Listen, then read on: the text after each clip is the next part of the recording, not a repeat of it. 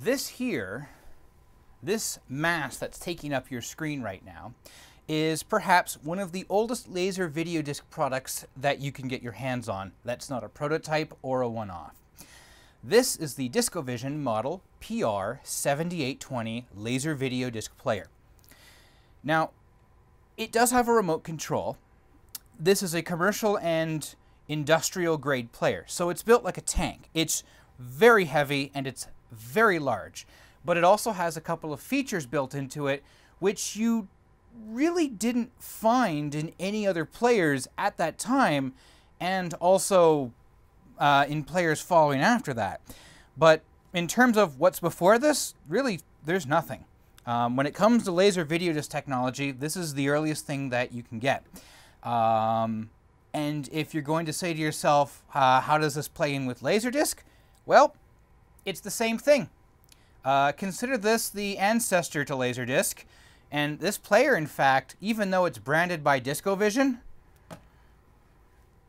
was actually manufactured by Pioneer. So there's a brand and a name that is very synonymous with Laserdisc. But this isn't. Uh, this video is not about the manufacturing and history of Laserdisc. This player here is broken, and that seems to be a common problem with all the 7820s.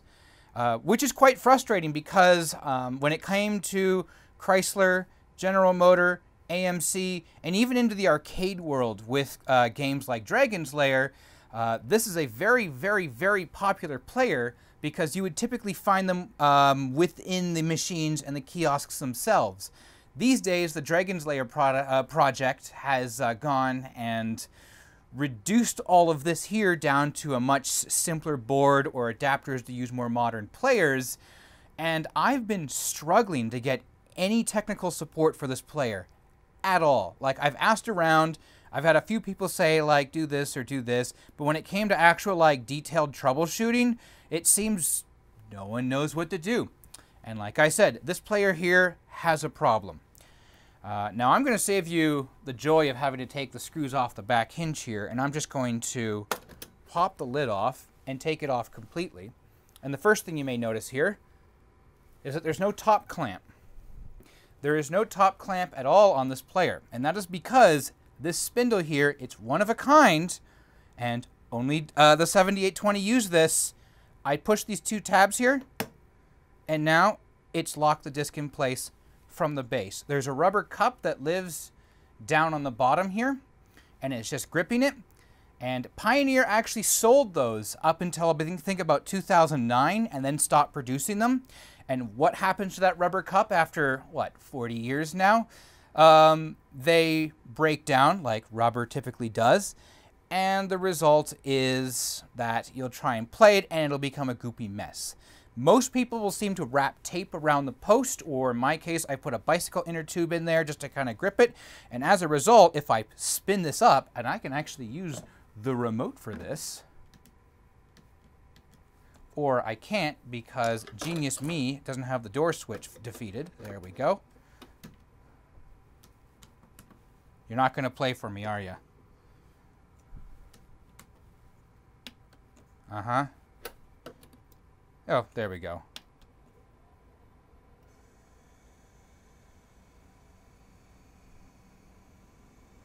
There is no other video disc player on the planet that does that. None. None. Nowhere. Anywhere. And this is part of our problem here. So I'm going to reject that disc.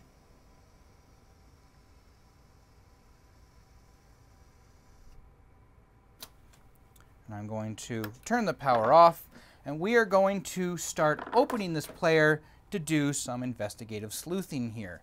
And if you're following along, please um, leave comments because this is all questions. This is a call for help. I seriously need help and want to get this player working because this is this is a museum piece at this point here. You know that? So we'll take two screws off. And by the way, if you do need service documentation for this, um, I have gone, and there we go. I have gone and all the service documentation for the 7820. So the general adjustments, the service manual, the optical alignments, that's all on archive.org. Look in the description below and I've actually included links to those. Um, along with taking the screws out for the door uh, lid here, there's also a battery that lives underneath the player. I've taken that out already. It is leaking, but there was no damage because it sits at the very bottom of the player. So unless you put this thing like on its side or upside down, no problem. So two screws come out, and then this cover here with a little bit of persuasion. Come on. What are you doing? There we go. A bit of persuasion comes off. There is hiding there a three-wire connector for your infrared receiver. Take that off. Now, uh, I don't advocate people try and make themselves go blind, but just to kind of better demonstrate what's happening here, I am going to take the cover off of the laser assembly. And I'm not going to do it for too long here, but I just want to show you what happens. So, as you saw, I powered the player up. The safety interlock, which was kind of, you know, defeating me there for a minute, uh, does work. Um, you power it up, it spins up, it's satisfied with the speed, it pulls itself in underneath the laser assembly. Notice what I just said there, underneath the laser assembly. And then it seemed like nothing happened. Or at least for the video display that you cannot see because it's out of frame over here, um, nothing happened. So I'm going to swing this open. There we go. Let me see if I can refocus this. Hold on. Okay, there we go. So the laser assembly is kind of terrifying. We have our Toshiba, our Toshiba helium neon laser there. There's our laser power supply, a mirror, a mirror, and various focusing points. We have our main focusing point to the disc down here, and we have our photodiode, which is actually picking up what bounces back from the disc. I'm going to turn the player on here. So the laser is now on. And from this point on here is my problem. So I'm going to spin the disc up. There's an app, there's a little gate here that's going to open. I know these mirrors are clean. I have no reason to believe this is out of alignment. And yet, um, I'm going to spin this up, it'll pull it in, and this focusing element over here is just going to hunt up and down and not actually want to focus and I don't know why. Play.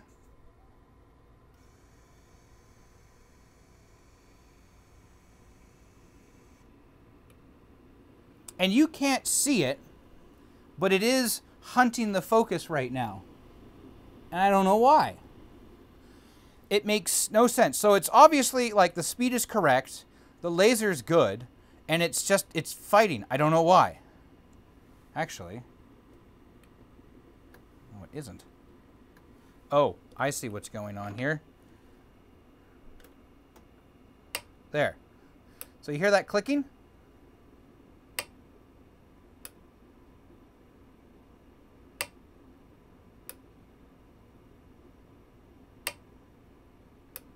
That clicking is indicating that it's like it's slamming itself against the end stop trying to focus, but it can't focus. But the laser's good, we know the alignment is good. I can see a reflection back in the photodiode. You can't right now. I really shouldn't be doing this much longer, so I'm just going to take that out there. I'm going to hit the reject button, and I'm going to power down the player. So we know that mechanically it's working. The laser seems to be working. I have no idea if the photodiode's behaving or if the focus is correct, but I want to focus my attention, no pun really intended there, on the focusing control board itself. So I will unplug the player. I will put this back over again because I do want to protect the laser assembly. And honestly, this is one of the big things. If it is a laser-based or alignment-based issue or a hard physical alignment-based issue, I'm screwed because to realign this and to readjust it, uh, requires a special disc. It requires special alignment jigs, none of which are available anymore. So it's basically game over. And I can almost assure myself, even though all this foil tape here is kind of icky looking, I was the first person into this player in a long, long, long time. So I'm relatively certain there's nothing inside of the optics that are bad unless the photodiode has failed. So we will put these screws back on. And I will now take this disc off before I damage it.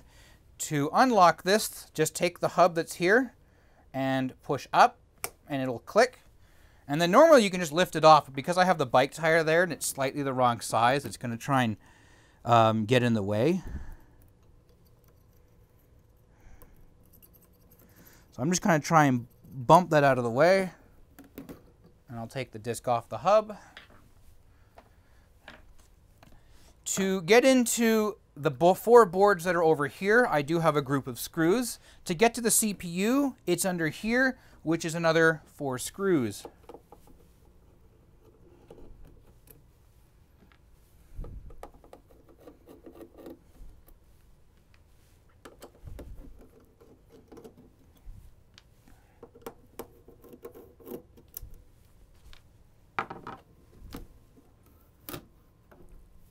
It comes out like that.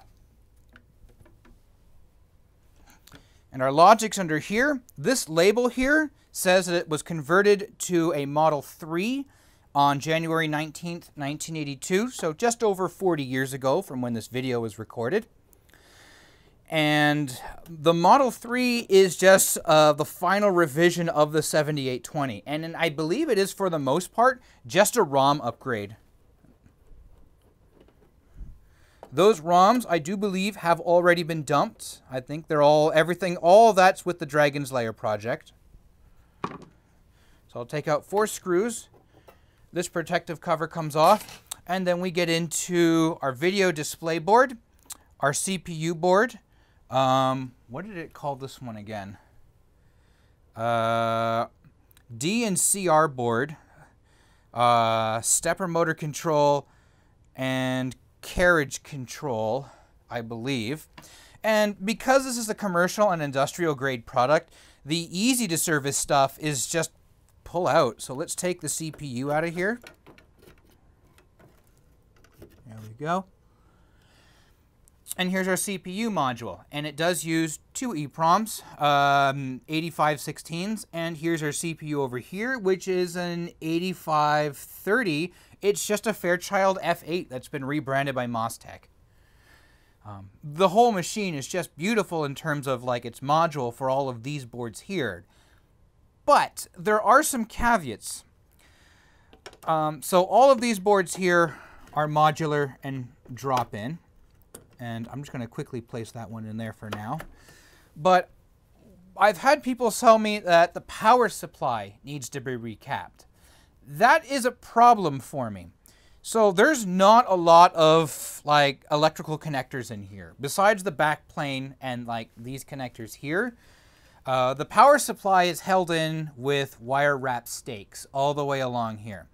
Uh, making that even worse, some of those wire wrap stakes are soldered, which means that to take that board out means you're going to have to completely mess up all of that wire wrapping and all of that soldering and I'm not looking forward to that.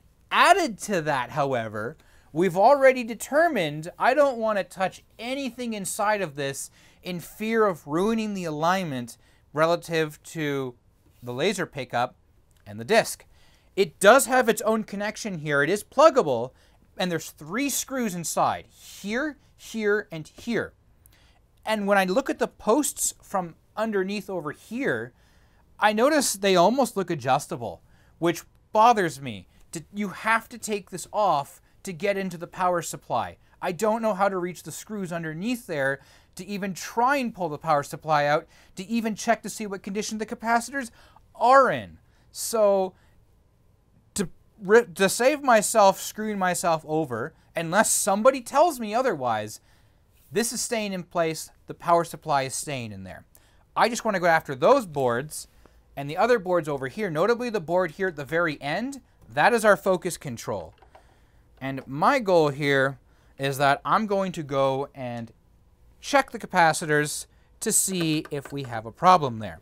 And What we're going to be doing for checking the capacitors today is we're going to be identifying the brand. I'm going to be identifying uh, their visual condition, and I'm going to check their ESR using a tool which has currently been loaned to me.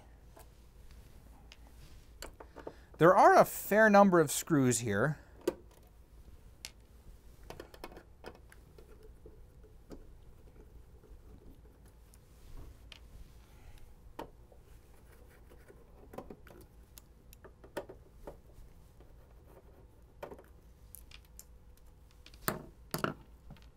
Okay. I'll lift that over and fold it over using the foil. And I have these two metal retainers here. They're both held in with one screw.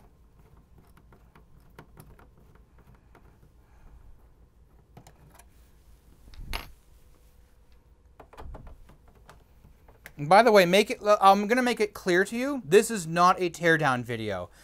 This is again me asking for help. YouTube, if you can help me out there, if anyone out there in the world of YouTube can help me with this player, please get in touch with me. I don't, I really don't want to ruin this. And this is the first player I found in the wild after like 15 years when I foolishly had the first one thrown away. Anyways, all that's open up there. So this should be our focus control board here. And again, it's just a pluggable module. And there you go, single-sided PCB. I'm just going to fold that out of the way. And I have a number of capacitors on here. Can I push the player out of the way a little bit there so it doesn't fall down on me? I'm going to go in here for the focus. So this little board right here uh, apparently controls the focusing system inside the laser assembly. I have 1, 2, 3, 4, 5, 6, 7, 8, 9, 10 capacitors, which we're going to evaluate. And to evaluate them today, I'm going to be using the Midwest Devices LLC Capacitor Wizard in-circuit ESR meter. I can already hear some people groaning because some people really don't like this device. Even I am really kind of iffy about this. Um, the person I borrowed this from has two of these, and the build quality is not really all that great. Different switches. I had one of these meters actually go bad, and I had to go in and resolder it. It wasn't fun. But the sheer number of times I've had this um, be right, as opposed to the number of times that it's been wrong, I have to put a little bit of faith into it. That if it says it's good or if it says it's bad, it probably is. If it goes into the compare zone, that's where things begin to get iffy. So I'm hoping not to see a lot of that today. So I'm going to turn this on. And I currently have this set to beep at any point here beyond or below uh, 1 ohm. So anywhere in the good range, if it goes into the compare, it won't beep. If it goes into bad, it won't beep at all. So I will start with this capacitor here. And by the way, let's vi visually identifying this here. This is a 25 volt, 4.7 microfarad cap. Um, actually, most of these seem to be that. Uh, 50 volt, 0.47. 16 volt, 22. These are fairly common values, so even if we do have some bad caps in here, that's not going to be a problem. Uh, Leak-wise, I'm not seeing any issues here. Smell-wise, I can smell the I can smell the phenolic board, but I don't smell fish. And I'm also not seeing any visual signs of leakage here. So let's go with the first cap. And it goes into it's 1.3 ohms on ESR at 100 kilohertz, which to me that puts into the compare. It's the dubious position. Great. We're already off to a fantastic start. 1.5.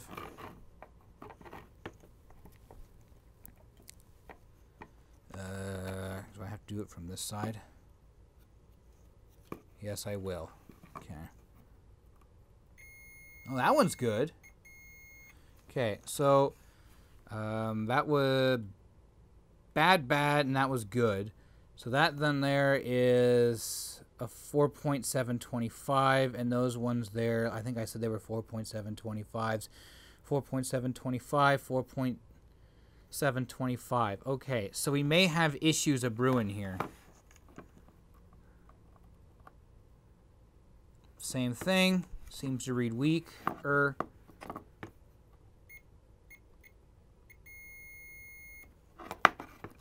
The slightly bigger cap here, uh, 2216, that one seems fine.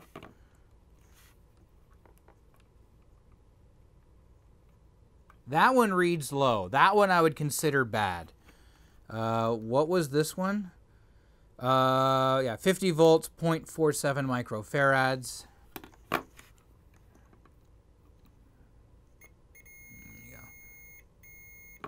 That one's good.